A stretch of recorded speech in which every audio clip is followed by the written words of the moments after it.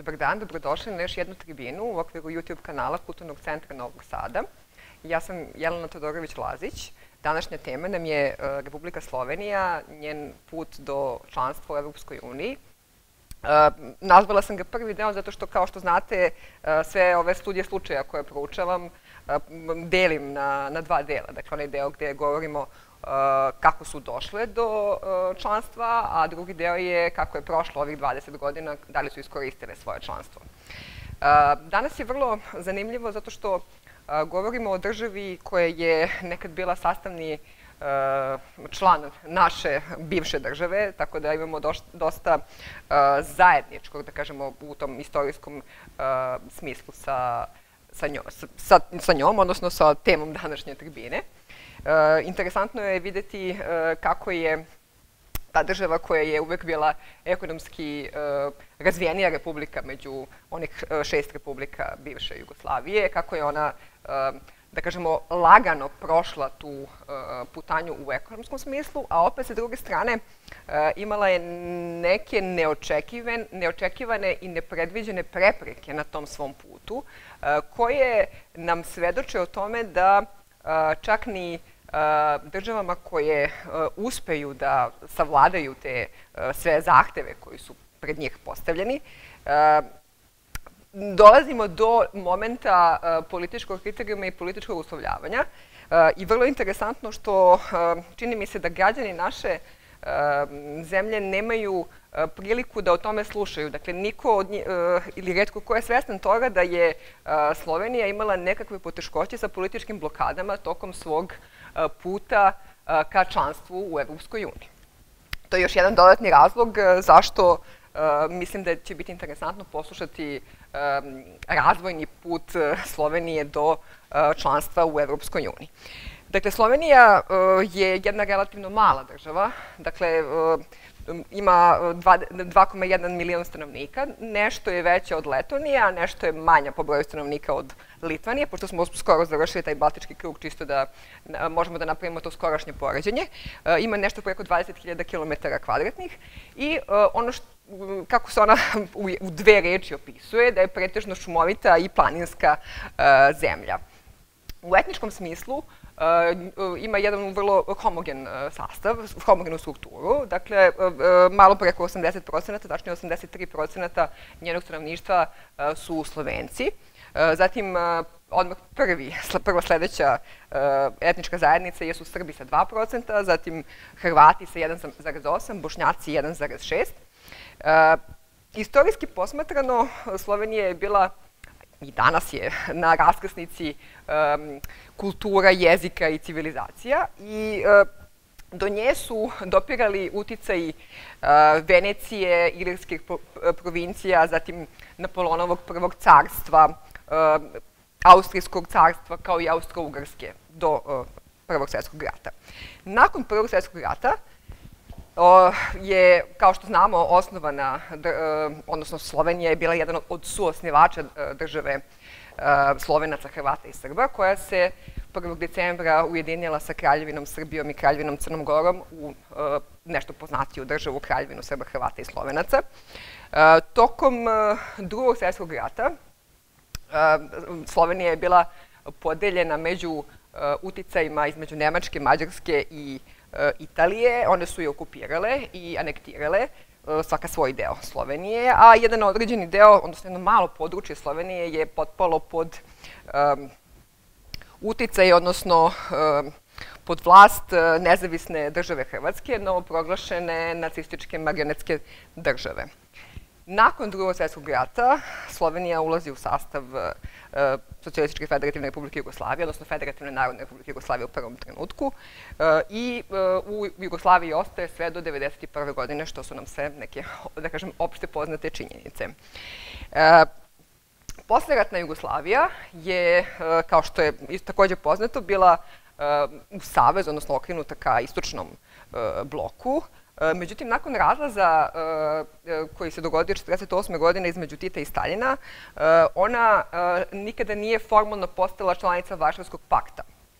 1961. godine je postala jedna od država osnivača pokreta nesvrstanih i prosto je sve to vreme balansirala, da kažemo, između istoka i zapada, da bi se početkom 90-ih ta posleratna Jugoslavija i raspala, a Slovenija proglasila nezavisnost od nje. Članstvo u Evropskoj uniji je za Sloveniju bilo njen strateški cilj od trenutka osamostaljenja formalno, a suštinski je bio njen cilj i mnogo pre osamostaljenja. Ne kažem da, da je bilo nekih nelegitimnih akcija kontakata sa Europskom zajednicom koje su bila, bila nedozvoljeni u tom periodu. Prosto ona je više decenija ispoljavala tu, da kažem, težnju, aspiraciju ili težnju da se pridruži zajednicama, kasnije i Uniji, i sve to proističe iz njenih bliskih ekonomskih, kulturnih i političkih veza sa državama Evropske zajednice, kojima je bila neposredno okružena u svom susedstvu. Još jedan od ciljeva zbog kojih je Slovenija intenzivno želela da postane članica tog evropskog kluba jeste, jesu i bezbednostni razlozi. Dakle, to nisu bezbednostni razlozi u onom smislu u kome su Baltičke države bile da kažemo po nacima navoda primorane da razmišljaju o zaštiti i integraciji u zapadne tokove integracije poput NATO i Evropske unije, odnosno zajednice. U nešto manjem obimu je bila ta opasnost u smislu bezbednostnih razloga, ali opet verovala je da može efikasnije da zaštiti svoju nacionalnu bezbednost u okvirima NATO-a i Evropske unije. Taj formalni odnos između Slovenije i Evropske zajednice, odnosno Evropske unije, je uspostavljen kroz prvi formalni dokument, to je sporazum o saradnji, koji je potpisan aprila 1993. ali su pregovori tokom 1992. godine obavljeni. On je stupio na snagu 1. septembra 1993. dakle sporazum o saradnji između Republike Slovenije i Evropske ekonomske zajednice. Kažem, to je prvi ugovorni odnos između ova dva entiteta. Slovenija je formalno zatražila otvaranje pregovora 10. juna 1996. godine 11. novembra 1996. Slovenija i Evropska unija su potpisale privremeni trgovinski sporozum, koji je pak stupio na snagu 1. januara odmah sledeće godine, dakle 1997. A tokom 1997. godine se desila ona čuvena agenda 2000, odnosno komisija je usvojila čuvenu agendu 2000. To je bio jedan dokument u kome je jula 1997. predstavila svoje mišljenje o svim zemljama kandidatima za pristupanje, odnosno pridruživanje Evropskoj uniji. I mišljenje komisije u tom dokumentu o Sloveniji je bilo dominantno pozitivno, odnosno povoljno, tako da je Slovenija u decembru 1997 uključena u onu prvu naprednu grupu država sa kojima se pregovaralo. Dakle, ako ste pažljivo pratili, videli ste da su bile dve grupe država. Jedna grupa koja je započela pregovore 1998. i druga grupa koja je započela pregovore 2000. godine. One su sve zajedno, dakle nisu sve zajedno, ali većina njih je 2004. postala članica, osim Bugarske i Rumunije koje su ostavljene za 2007. Dakle, Slovenija se tako našla u toj prvoj naprednoj grupi država koje su otvorile pregovore za pristupanje Evropskoj uniji. Pregovori su završeni, kažem, za četiri godine potpisivanjem sporazuma o uslovima pristupanja Uniji.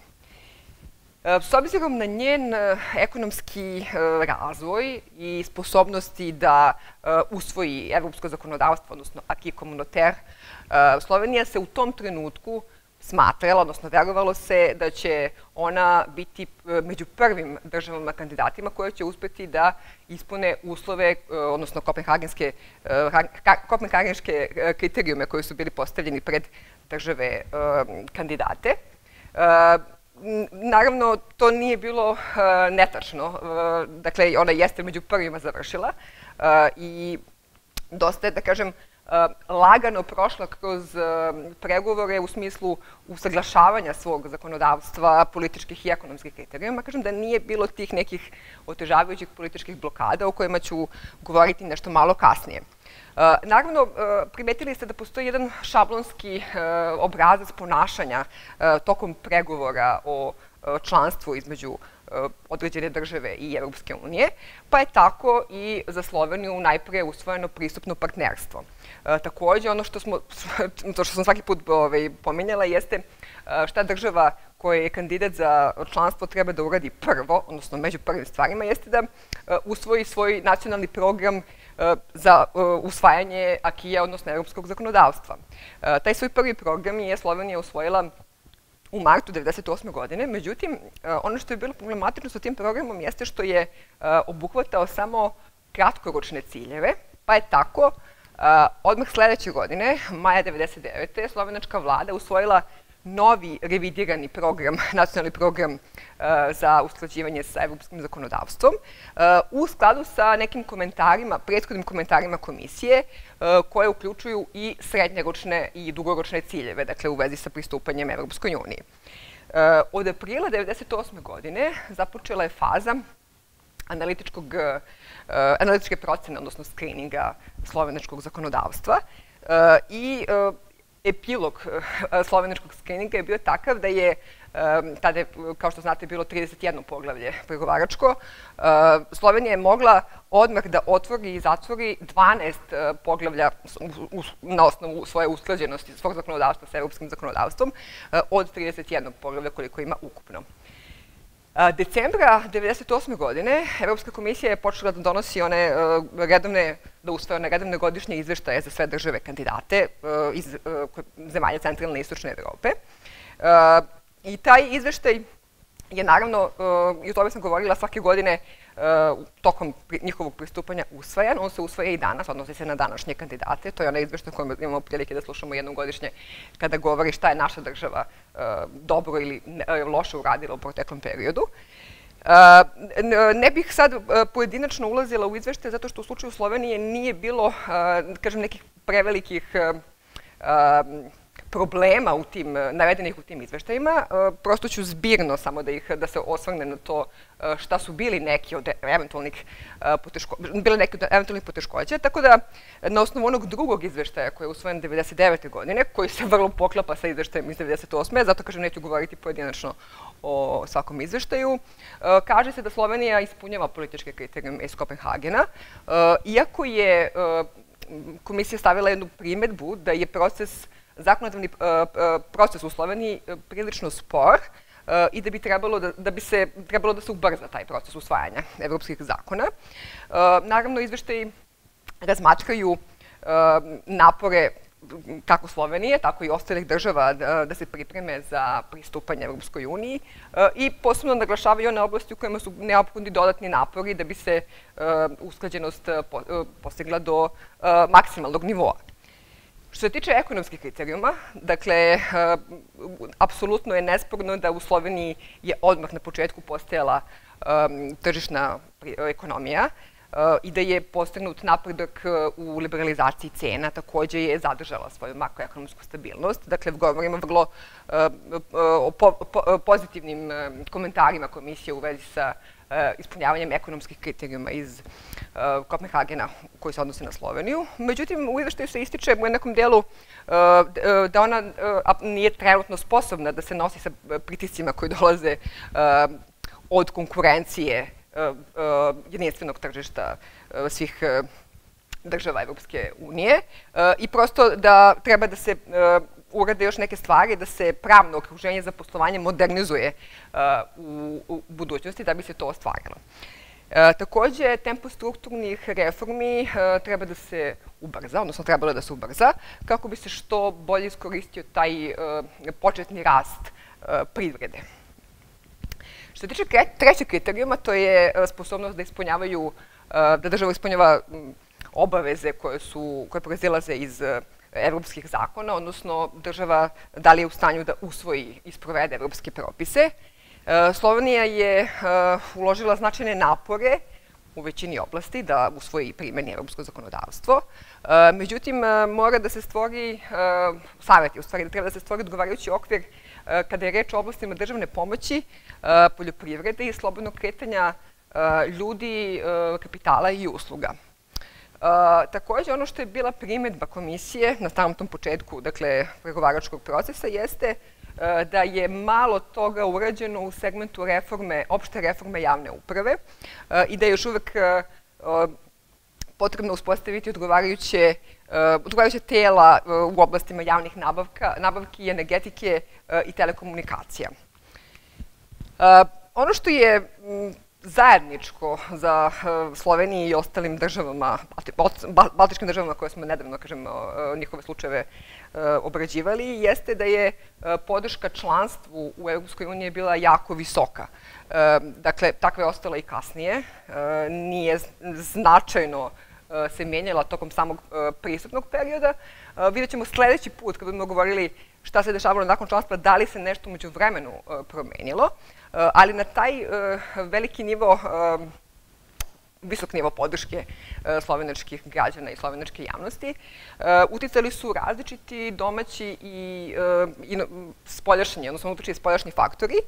Međutim, zemlja nikada nije dovela u pitanje svoju evropsku perspektivu, odnosno pripadnost Evropskoj uniji. Bilo je naravno slučajeva kada je Slovenija očekivala veći nivo podrške od strane evropskih institucija, ali prosto među svim društvenim, društvenim grupama, od političara preko poslovnih ljudi, nevladnih organizacija, javnosti, nije bilo, bio je konsenzus po tom pitanju da, da kažemo, e, Evropa nema alternativu za kada je reč o Sloveniji. Članstvo u evropskim zajednicama, odnosno Evropskoj uniji, je bila jedna od glavnih tačaka svih političkih dokumenta koje je, kada je Slovenija pokrenula svoj plan za napuštanje Jugoslavije, dakle kada je krenula da se osamostaljuje od Socialističke federativne republike Jugoslavije.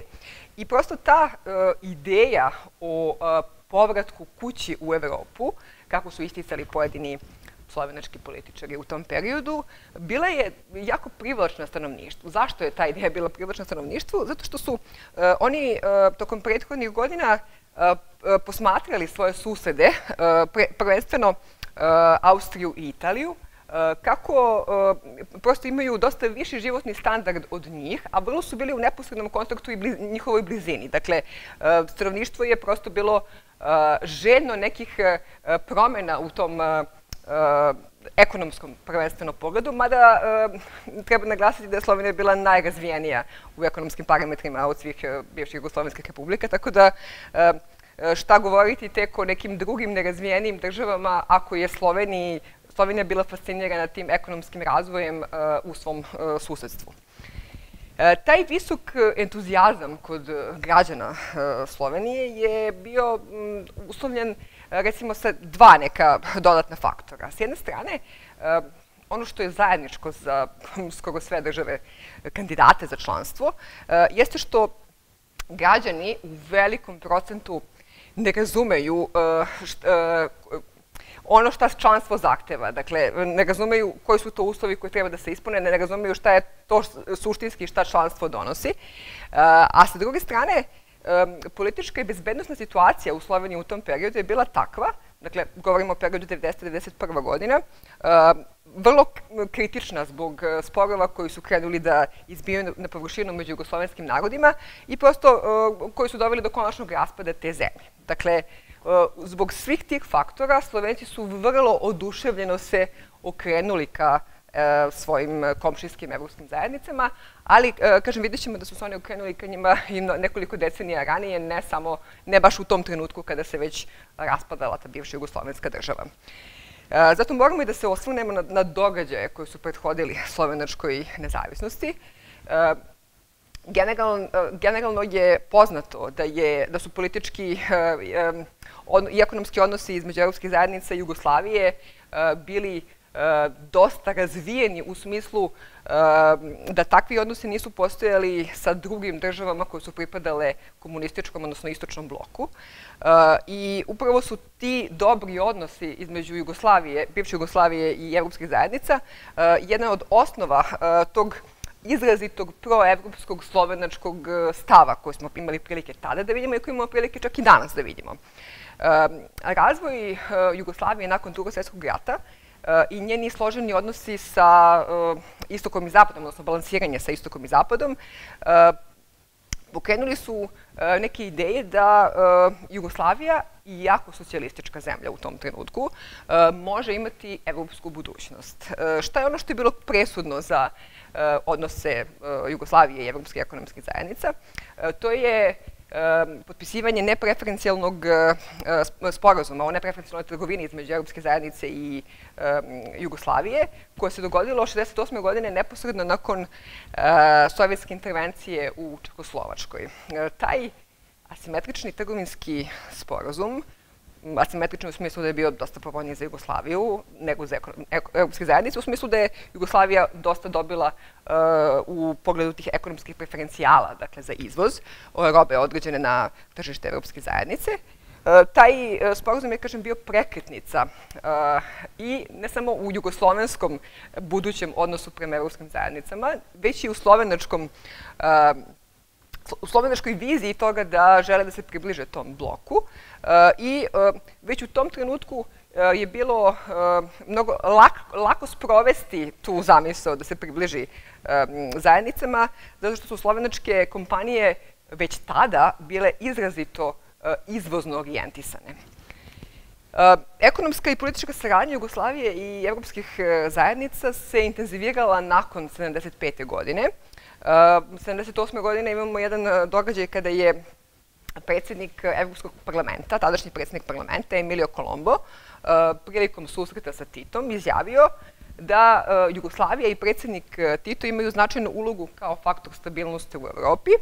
Zbog toga zajednica želi da doprinese političkoj stabilnosti Jugoslavije, imajući u vidu njenu ulogu u svetu. Dakle, ovaj, ova izjava nam potvrđuje dobre odnose između bivše Jugoslavije i Evropske zajednice u trenutku, dakle, dok je još uvek Tito živ.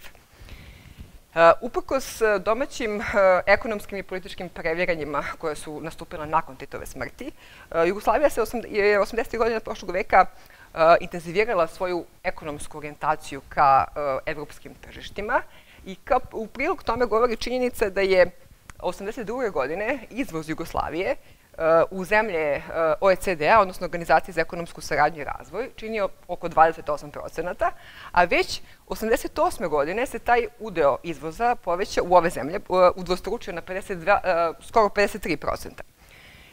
sličan trend westernizacije, da tako nazovemo, jugoslovenske privrede, predstavili su i neki autori koji nam daju podatke o jugoslovenskim zajedničkim preduzećima koja su poslovala u zapadnim zemljama tokom 80. godina, pa tako je Jugoslavija 87. godine imala 287 takvih preduzeća, od toga 241 preduzeće poslovalo u Evropi, a u spodnoj, i u spodnoj trgovini i u, u oblasti stranih direktnih investicija privreda najsevernije Jugoslovenske republike, odnosno Slovenije, je igrala važnu ulogu.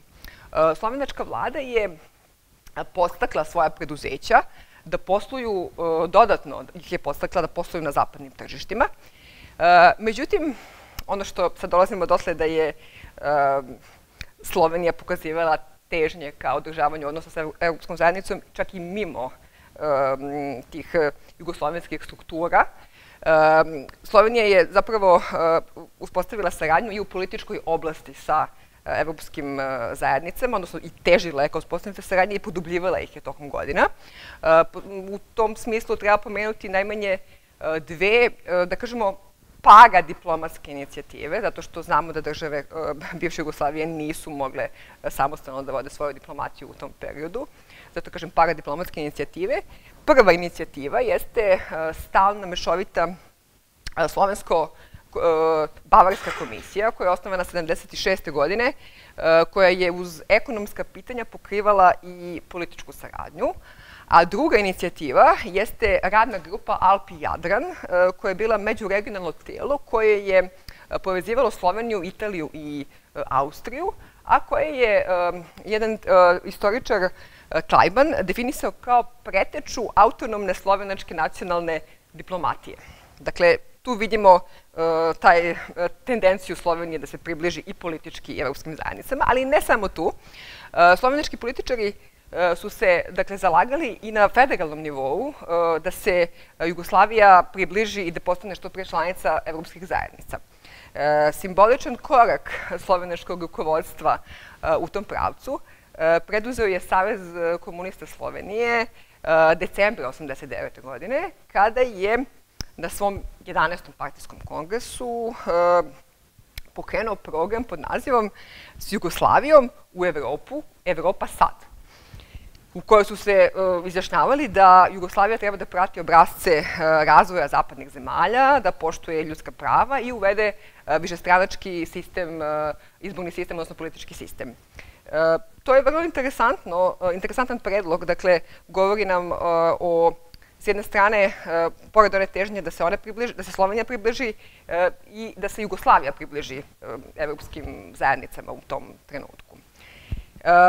Ali Slovenija je zapravo prvo ojačala svoje paradiplomatsko, ono što je bilo, bilo prvenstveno njen cilj, jeste da ojača svoje paradiplomatsko predstavništvo u evropskim zajednicama preko predstavništva svoje banke, Ljubljanske banke. Ljubljanska banka imala predstavništvo u Parizu, ali je tih krajem 80. godine, 89. godine, ona otvorila svoje predstavništvo, odnosno filijalu i u Briselu, dakle Ljubljanska banka. Septembra 90. godine vlada, odnosno izvršno veće vlada Slovenije, je imenovalo Lojzeja Sočana za svog prvog predstavnika u institucijama evropskih zajednica. I nakon e, amandmana na e, slovenački ustav, e, koji je usvojen septembre 89. godine, kojem se među ostalog ukida pridev socijalistička pored naziva Republika Slovenija i pojačava se posvećenost Slovenije zaštiti ljudskih prava, demokratizaciji, slobodi i demokratizaciji. Usledili su i sledeći koraci koji su vodili ka osamostaljenju uh, od Jugoslavije i ka nastavku tog svog evropskog puta. Dakle, poznato je da je u januaru 90. godine slovenačka delegacija napustila 14. Pa, vanredni partijski kongres Saveza komunista Jugoslavije, što je dovelo do sloma Saveza komunista, takođe poznata uh, činjenica. Uh, februara 90. godine partija je promenila naziv u Savez komunista Slovenije, iz Saveza komunista Slovenije u stranku demokratskih reformi. U aprilu 90. godine su održani prvi višestranački e, izbori u Sloveniji e, posle drugog svjetskog rata, na kojima je pobedila koalicija nekoliko novoosnovanih partija desnog centra pod skraćenim nazivom DEMOS, odnosno Demokratska opozicija Slovenije.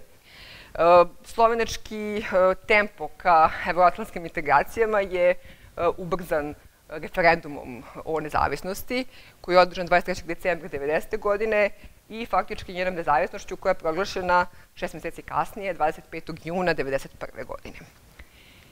E, Slovenija se, međutim, obavezala na e, evropske integracije i pre formalnog proglašenja nezavisnosti i to se može pratiti kroz jedan e, dokument koji je usvojen tri meseca nakon proglašavanja nezavisnosti. To je dokument koji se zove Osnove spoljne političke strategije Slovenije iz marta 1991. gde se kaže Sledeće, naš strateški cilj je članstvo u evropskim zajednicama koje danas imaju 12 država članica. Slovenija još nije spremna da postane članica, ni politički, ni ekonomski, ni tehnički. Debata o tome kako se uskladiti sa tim svim oblastima mora započeti. Dakle, e, to je, da kažemo, prvi dokument formalni u kome se e, izražava e, želja da se postane, da postane članica evropskih zajednica.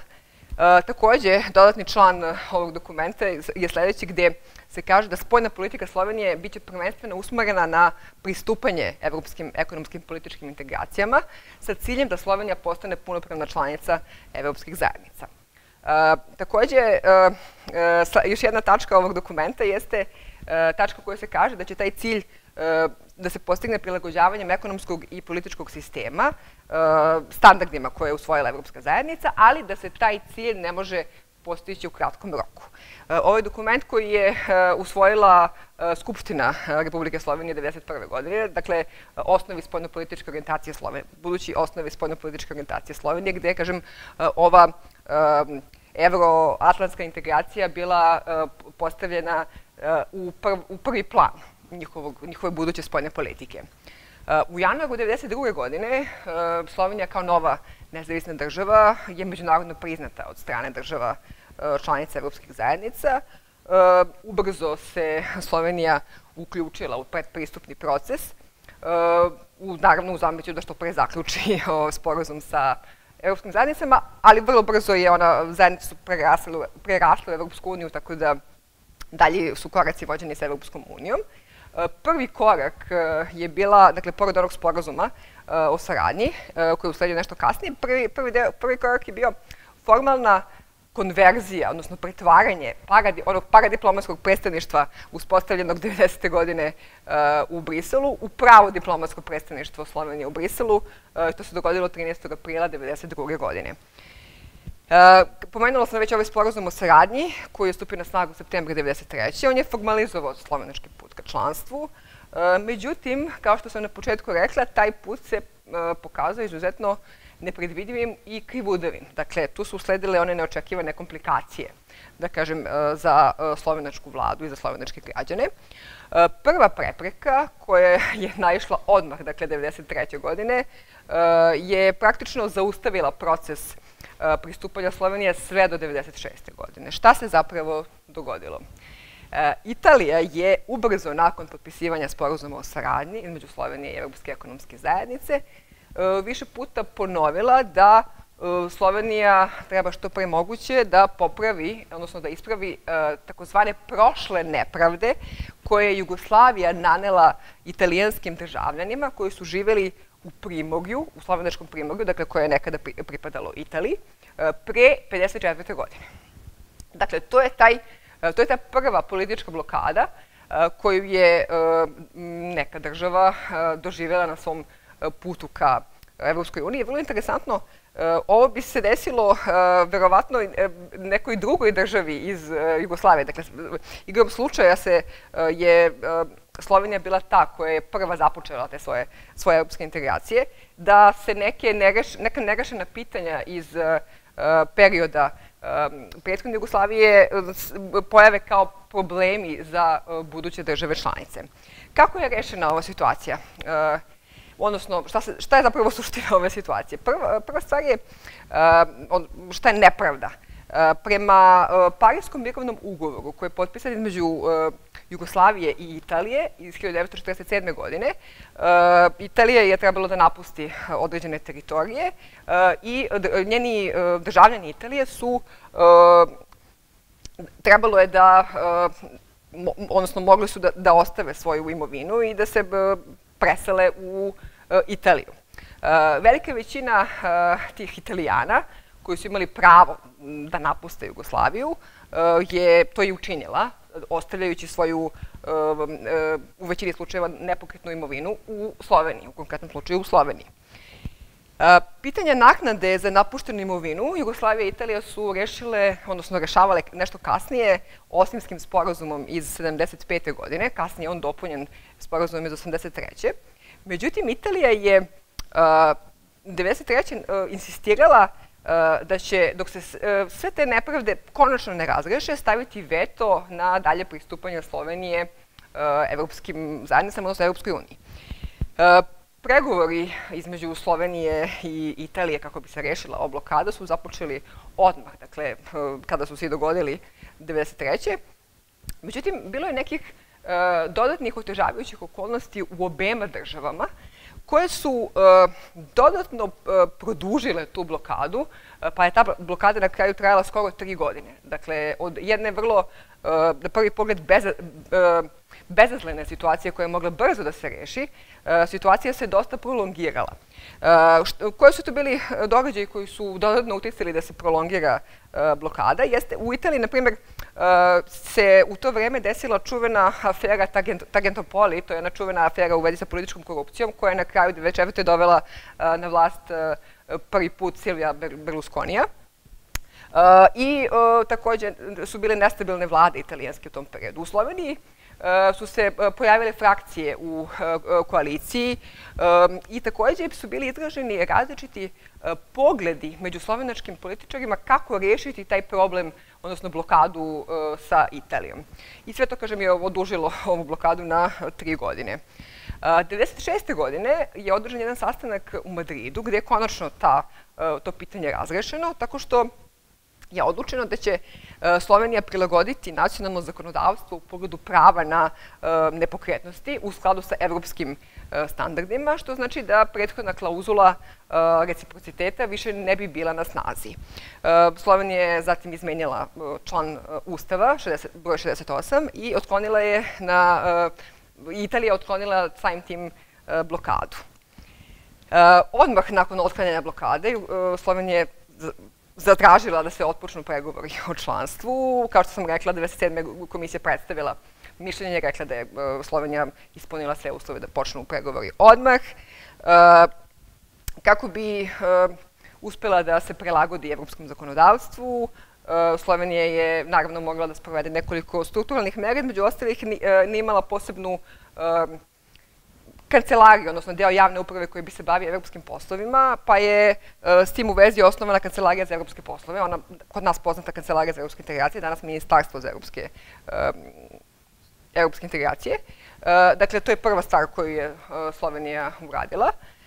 I ono što je interesantno jeste da nije bilo protivljenja građana Slovenije brzom članstvu, ni među političkim partijama, ni među građanima. Jedini koji su bili protiv evropskih integracija u Sloveniji jeste bila krajnje desničarska partija Slovenačka nacionalna stranka. 1994. godine smo imali situaciju da oko 75% građana Slovenije podržava članstvo Slovenije u Europskoj uniji. I kada se završila ova cela epizoda sa italijanskom blokadom, Slovenci su mislili to je to, gotovo je, sad ćemo nastaviti, ubrzo će se naš evropski put. Međutim, novi politički vetar u Austriji, koji je nastao tako što je formirana koalicija između konzervativne Austrijske narodne partije i desničarske slobodarske partije Austrije, je e, započeo zapravo proces novih političkih uslovljavanja, ovog puta od strane drugog suseda, odnosno Austrije. I opet u vezi sa tim nekim prethodnim avetima bivšeg jugoslovenskog zakonodavstva. O čemu se ovde radilo? radilo se o zakonodavstvu, jugoslovenskom zakonodavstvu koje je usvojeno od 1944. godine, o eksproprijaciji e, građana nemačkog govornog područja, od kojeg su mnogi sarađivali sa okupacijenim snagama tokom drugog svjetskog rata, e, koje je i Austrija želela da vidi ovo, ovo zakonodavstvo opozvanim. To je prvi razlog za blokadu. Drugi razlog, e, Austrija je insistirala da Slovenija što pre zatvori nuklearnu e, elektranu u Krškom, koja se nalazila na slovenačko-hrvatskoj granici, jer se Austrija protivila nuklearnoj energiji.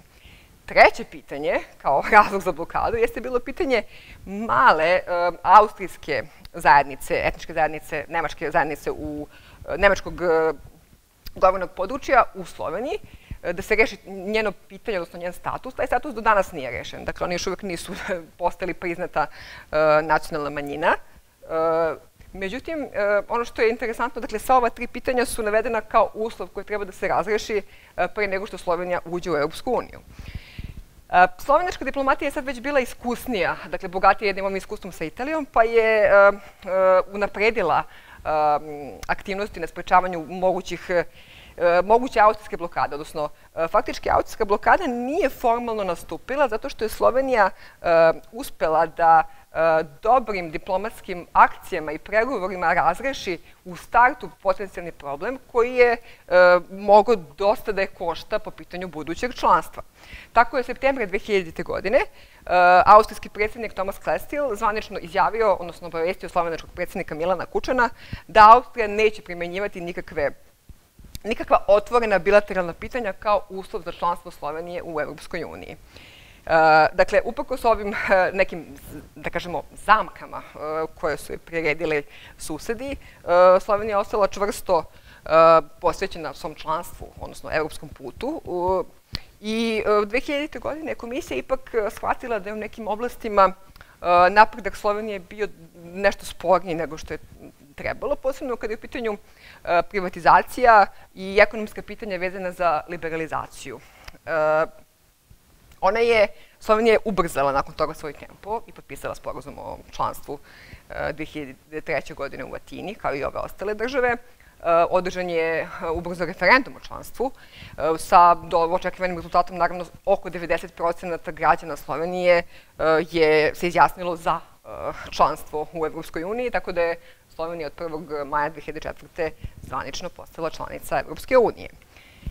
E, zvanični stav e, Slovenije prema Evropskoj uniji od uvek je bio pozitivan. E, može se to vidjeti i u onim dokumentima, dakle u onom jednom dokumentu koji sam pomenula, osnove strategije spoljne politike Slovenije iz 1991. Takođe i u drugom dokumentu, to je deklaracija o spoljnoj politici iz 1999. godine, kao i u svakodnevnim izjavama vodećih političara u tom periodu 90-ih i ranih 2000-ih. Ono što je ostalo kao veliki nedostatak jeste činjenica da je e, Slovenija e, svoje članstvo u Europskoj uniji shvatila kao cilj sam po sebi, e, a ne kao sredstvo koje bi pomoglo da napredi neke elemente poput upravljanja ekonomske strukture, nekih vrsta politika.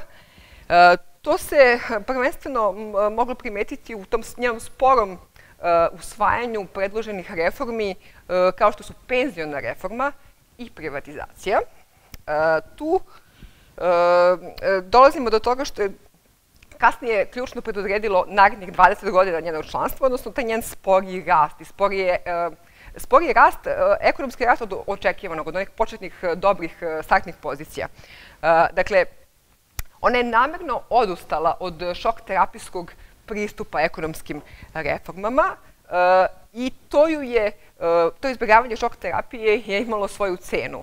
Dakle, strukturne reforme su odložene, proces tranzicije sa jugoslovenske komunističke, e, socijalističke privrede na slovenačku tržišnu ekonomiju je bio dosta spor uh, i Slovenija na kraju, kažem, platila tu cenu u vidu sporog uh, ekonomskog rasta i još sporijeg procesa sustizanja evropskog proseka. Ali o tim konkretnim posledicama, kako je kako Slovenija ipak nije maksimalno iskoristila sve ono što je u potencijale koje je imala u startu, o tome ćemo čuti sledeći put, eh, dakle, kada sumiramo eh, slovenačkih 20 godina u Evropskoj uniji. Zahvaljujem na pažnji.